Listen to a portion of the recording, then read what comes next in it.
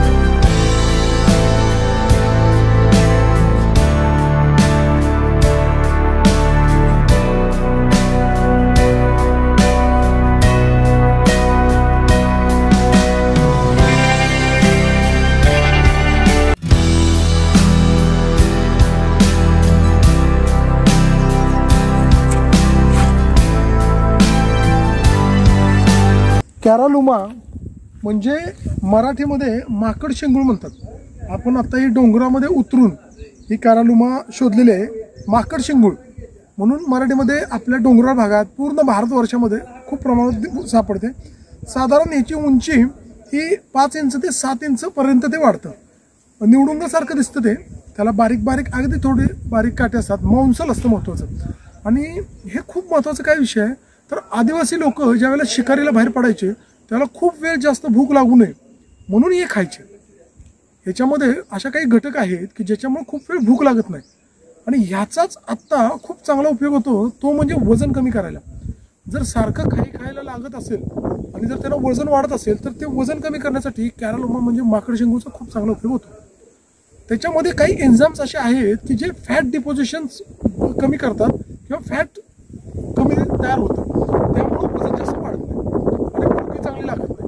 त्यामुळं जास्त वेळ उपायची राहिल्यामुळं वजन कमी व्हायला मदत होते. याचा दुसरा खूप चांगला उपयोग आहे तो म्हणजे मुळव्यातमध्ये मुळव्यातमध्ये रक्त जर खूप पडत असेल तर हा माकड शेंगूळ जर खाल्ला तर त्याचा चांगला फायदा होतो. त्यामुळे मुळव्याधीमध्ये पण माकड शेंगूळचं तुम्ही त्याची भाजी करू शकता त्याचं लोणचं करू शकता. तर अशा पद्धतीनं वजन कमी करण्यासाठी फॅट डिपोजिशन नियंत्रित ठेवण्यासाठी हे खूप चांगलं उपयोगी पडतं.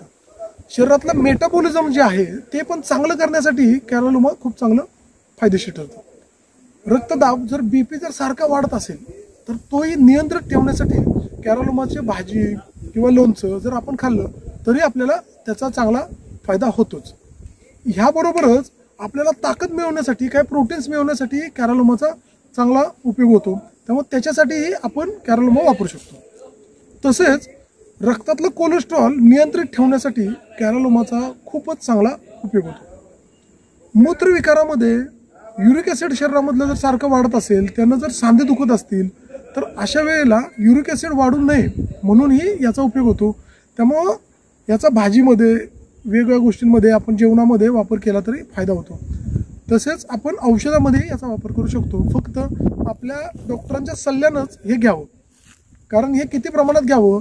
हे जी काही प्रमाणं ठरलेली आहेत मूत्रविकारामध्येही जर लघवीला जळजळ वगैरे जर होत असेल तरीही माकड चेंगूळचा उपयोग खूप होतो त्यामुळं अशी ही आपल्या डोंगर माळ रानामध्ये मिळणारी ही वनस्पती तुम्ही वापरून आपलं आरोग्य चांगलं ठेवू शकता.